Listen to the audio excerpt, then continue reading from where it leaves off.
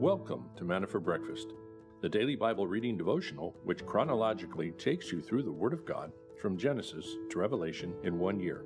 Grab a cup of coffee and your Bible and join us as we journey together through God's Word.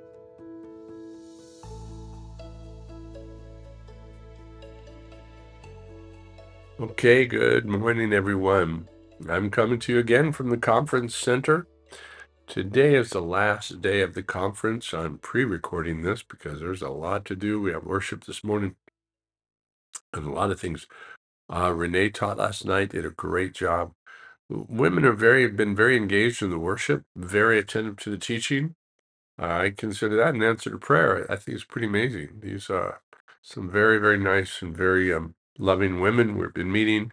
Uh, it's been nice, been a very nice time. We're enjoying ourselves. Being a one of the few times where the whole uh, body of um, Christ could come down, at least from our church, spend time together in the Word. Let me clean up this. I got one little thing here I don't need. Let me get rid of that one. There we go. That looks a little better, huh? Okay, we are in Genesis 25, 26, as you saw, double there, two times. You guys that are live anyway. And uh, let's go ahead and pray and get into the Word this morning. Father, thank you for my brothers and sisters that are, are here. Thank you for bringing new people in. And we do love you. We thank you for this time that we get to spend with you. And thank you for the work you're doing here at the conference. In Cruz de Huanacaxtle, just to our south. God, of Vallarta, thanks you for blessing these ladies and everything you're doing at this conference. In Jesus' name, amen. All right, Genesis 25. Now Abraham took another wife whose name was Keturah.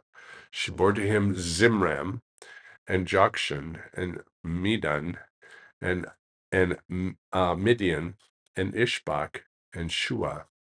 Jokshan became the father of Sheba and Dedan. The sons of Dedan was Ashrim and Letushim and Leummim. The sons of Midian were Ephah and Epher and Hanoch and Abidah and Eldaah. These all these were the sons of Keturah. Now, Abraham gave all that he had to Isaac, but to the sons of his concubines, Abraham gave gifts while he was still living and sent them away from his son Isaac eastward to the land of the east. These are all the years of Abraham's life that he lived 175 years. Abraham breathed his last and died in a ripe old age, an old man and satisfied with life. He and he was gathered to his people. Then his sons, Isaac and Ishmael, buried him in the cave of Machpelah in the field of Ephron, the sons of Zohar, the Hittite, facing Mamre, the field which Abraham purchased from the sons of Heth. There Abraham was buried with Sarah, his wife. It came about after the death of Abraham that God blessed his son Isaac, and Isaac lived in Ber Lairoi. Now, these are the records of the generations of Ishmael. Abraham's son, whom Hagar, the Egyptian Sarah's maid, bore to Abraham. And these are the names of the sons of Ishmael by their names in the order of their birth. Nebaioth, the firstborn of Ishmael, and Kedar, and Ad- Adbeel, and Mibsham, and Shim, Shima, and Dumah, and Massa, Hadad, and Tema, Jetur, Nephish, and Kedemah, these are the sons of Ishmael, and these are their names by their villages and by their camps. Twelve princes according to their tribes. These are the years of the life of Ishmael 137 years, and he breathed his last and died and was gathered to his people. They settled from Havilah to Shur, which is east of Egypt, as one goes towards Assyria. He settled in defiance of all his relatives. Now, these are the records of the generations of Isaac, Abraham's son. Abraham became the father of Isaac, and Isaac was 40 years old when he took Rebekah, the daughter of Bethuel, the Aramean of Paddan-aram, the sister of Laban, the Aramean, to be his wife. Isaac prayed to the Lord on behalf of his wife because she was barren, and the Lord answered him with Rebekah, his wife. And, I'm sorry, and the Lord answered him, and Rebekah his wife conceived. But the children struggled together within her. And she said, If it is so, why then am I this way? So she went to inquire of the Lord. The Lord said to her, Two nations are in your womb, two peoples will be separated from your body, and one people shall be stronger than the other, and the older shall serve the younger. When her days to be delivered were fulfilled, behold, there were twins in her womb. Now the first came forth red all over like a hairy garment, and they named him Esau. Afterward, his brother came forth with his hand holding on to Esau's heels, so they named his name was called Jacob. And Isaac was 60 years old when she gave birth to them. When the boys grew up, Esau became a skillful hunter and man of the field, but Jacob was a peaceful man living in tents. Now Isaac loved Esau because he had a taste for game, but Rebekah loved Jacob. While Jacob had cooked stew, Esau came in from the field and was famished. And Esau said to Jacob, Please let me have a swallow of the red stuff there, for I am famished. Therefore his name is called Edom. But Jacob said, First, show me your birthright. Esau said, Behold, I'm about to die. So of what use then is the birthright to me? And Jacob said, First, swear to me. So he swore to him and sold his birthright to Jacob. Then Jacob gave Esau bread and lentil stew, and he ate and drank and rose and went on his way. Thus Esau despised his birthright. Now, there was a famine in the land beside the previous famine that had occurred in the days of Abraham. So Isaac went to Gerar, to Abimelech, king of the Philistines. The Lord appeared to him and said, Do not go down to Egypt. Stay in the land for which I shall tell you. Sojourn in this land, and I will be with you and bless you. For to you and to your descendants I will give all these lands, and I will establish the oath which I swore to your father Abraham. I will multiply your descendants and the stars of heaven. I will give your descendants all these lands, and by your descendants all the nations of the earth shall be blessed, because Abraham obeyed me and kept my charge, my commandments, my statutes, my laws. So Isaac lived in Gerar. When the men of the place asked about his wife, he said, She is my sister. For he was afraid to say, My wife, thinking the men of the place might kill me on account of Rebekah, for she is beautiful. Came about when he had been there a long time that Abimelech, king of the Philistines, looked out through the window, or a window, and saw, and behold, Isaac was caressing his wife Rebekah. And Abimelech called Isaac and said, Behold, certainly she is your wife. How then did you say she is my sister? And Isaac said to him, Because I, I said I might die in the count of her. Abimelech said, What is this you have done to us? One of the people might have easily have lain with your wife, and you would have brought guilt upon us. So Abimelech charged all the people, saying, "You touches this man or his wife shall surely be put to death.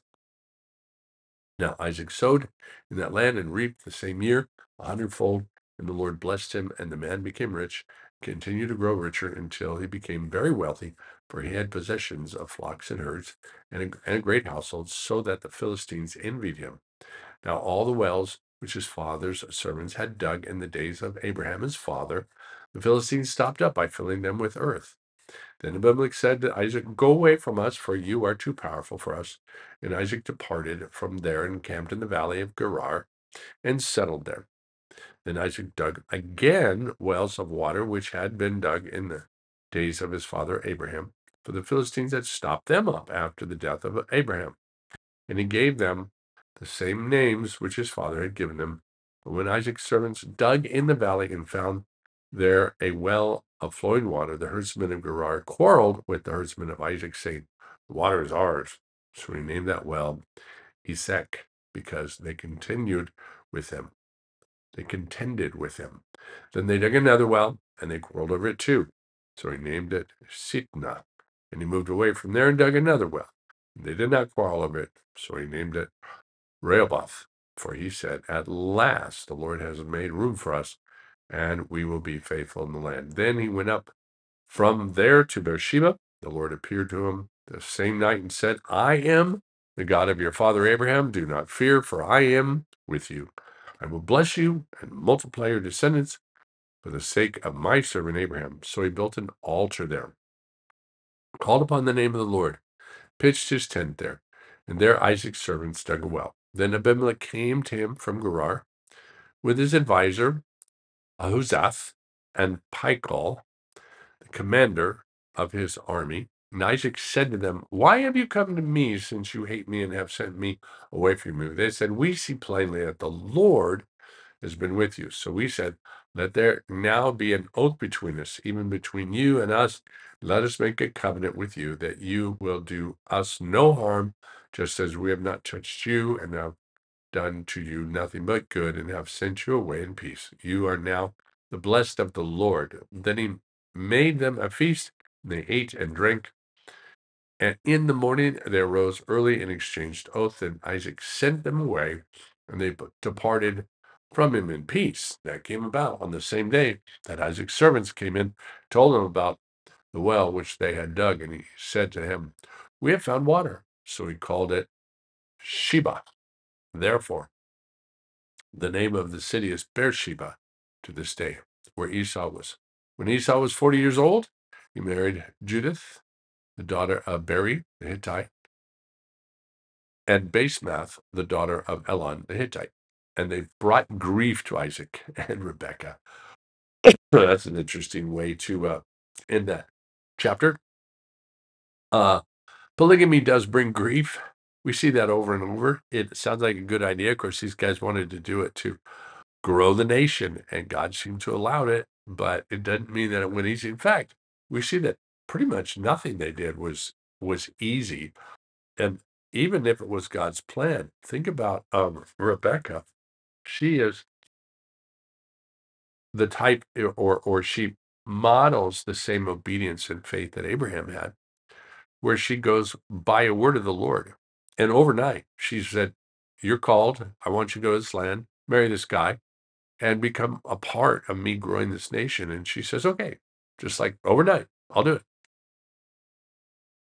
And then she gets there, marries him, and the, of course they pray for her to have a overwhelming amount of children, and that she would be this inc- great woman that would bring all of these children to Isaac, and and the, the promise to Abraham would be fulfilled through her, in in a very real sense. And guess what? She's barren; she can't have kids.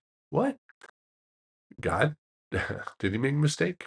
No, she was barren for his purpose and his glory, so that we see that Isaac has to pray, that Isaac has to learn faith, that Isaac has to learn that it's going to be God that brings these other kids into the world, not him. He's not going to be like the solution to Abraham's problem.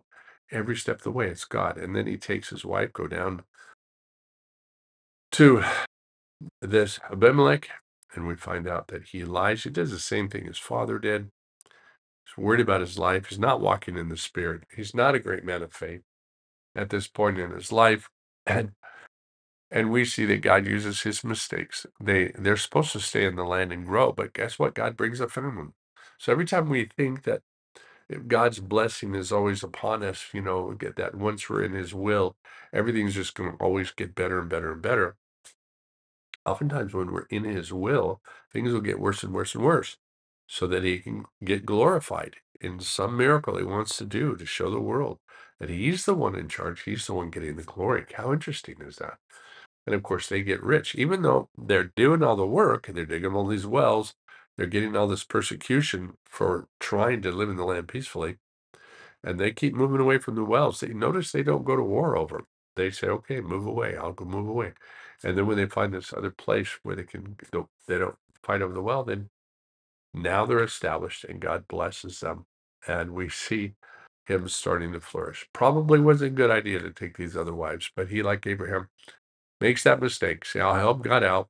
Take it out, take a couple of wives more, as we're supposed to be a great nation and have lots of kids, but maybe didn't pray about that one, would be my guess. All right. Jumping over to Matthew 18. At that time, the disciples came to Jesus and said, Who then is the greatest in the kingdom of heaven? And he called a child to himself and set him before them and said, Truly I say to you, and unless you are converted and become like children, will not enter the kingdom of heaven. Whoever then humbles himself as this child, he is the greatest in the kingdom of heaven. And whoever receives one such child in my name receives me. But whoever causes one of these little ones who believes in me to stumble, it would be better for him to have a heavy millstone hung around his neck than to be drowned in the depths of the sea. Woe to the world because of its stumbling blocks. For it is inevitable that stumbling blocks come, but woe to that man through whom the stumbling block comes. If your hand or your foot causes you to stumble, cut it off, throw it from you. Sorry. It is better for you to enter life crippled or lame than to have two hands and two feet and be cast into eternal fire. If your eye causes you to stumble, pluck it out and throw it far from you. It is better for you to enter life with one eye than to have two eyes and be cast into the fire hell. See that you do not despise one of these little ones, for I say to you that their angels in heaven continually see the face of my Father who is in heaven. For the Son of Man has come to save that which is lost. What do you think? If any man has a hundred sheep and one of them goes astray, does he not leave the 99 on the mountain and go and search for the one that is straying? If it turns out that he finds it, truly I say to you, he rejoices over it more than over the 99 which have gone astray, which have not gone astray. So, so it is not the will of your Father who is in heaven that one of these little ones perish. If your brother sins, go and show him his fault in private. If he listens to you, you have won your brother. But if he does not listen to you, take one or two more with you, so that by the mouth of two or three witnesses every fact may be confirmed. If he refuses to listen to them, then tell it to the church. And if he refuses to listen even to the church, let him be to you as a Gentile and a tax collector. Truly I say to you, whatever you bind on earth shall be bound in heaven. Whatever you loose on earth shall be loosed in heaven. Again, I say to you that if two of you agree on the earth about anything that they may ask, it shall be done for them by my Father who is in heaven. For where two or three have gathered together in my name, I am there in their midst. Little ones here may refer to children, but many people think it refers to, to the, the little ones in faith. That it's people that are just coming to to faith and salvation and they're untaught and the enemy wants to come and snatch what they have out of their hand and want, want to try and conf- confuse them and, and easily cause them you know cause them to fall into sin. And so if you see them in sin you should go to them and you know whether they're young in faith or old and pray that the father would help you to correct them.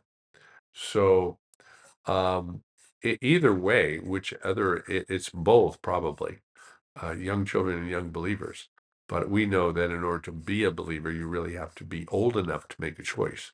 You have to ask god you have to ask the father. It doesn't mean you have everything everything figured out. I didn't. Man when i was first saved i didn't have anything figured out. I was wrong about everything mostly. I just knew i figured out that jesus was really died for me. And uh, i wanted him and i needed to be forgiven. But other than that goofy ideas on just about everything. Took me years to get it straightened out and hopefully hopefully i've gotten it straightened out i'm sure the lord will show me some areas that i still have wrong but it's interesting uh anyway let's move on charles spurgeon and there shall and there shall ye remember your ways and all your doings wherein ye have been defiled and you shall loathe yourselves in your own sight for all your evil for all your evils that ye have committed. Ezekiel 20 43.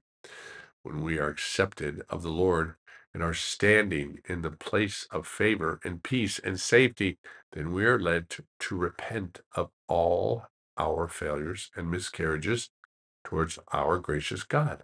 So precious, precious is repentance that we may call it a diamond of the first water and is and this is sweetly promised to the people of God as one most sanctified result of salvation. He who accepts repentance also gives repentance, and he gives it not only not out of the bitter box, but from among those wafers made with honey, on which he feeds his people. A sense of blood bought pardon and of undeserved mercy is the best means of dissolving a heart of stone. Are we feeling hard? Let us think of covenant love, and then we shall leave sin, lament sin, and loathe sin. Yea, we shall loathe ourselves for sinning against such infinite love. Let us come to God with this promise of penance and ask Him to help us to remember and repent and regret and return. Oh, that we could enjoy the melting of holy sorrow. What a relief would a flood of tears be. Lord, smite the rock or speak to the rock and cause the waters to flow. Boy, I like that. That is really, really good. It's really poetic, but it is so, so good. And that was God in my life. Just the the coming to the point of it, giving up and repenting and saying, man, all the years I spent trying to get to God my own way and my own religion by my own spirituality was all wrong. And I had to break and just say, I'm sorry, God. Why did I ever think I could make you come to me and make you bend to my will when it's clear that we must break and come to you by your means? And then you lavish upon us salvation because you went to the world, you came into the world to die for us and you did everything. So we would have no excuse and no reason not to come to you. What a great and glorious God you are. Thank you, God. And let's go ahead and pray and thank Him for that and thank Him for everything He is doing in the conference. Let's pray.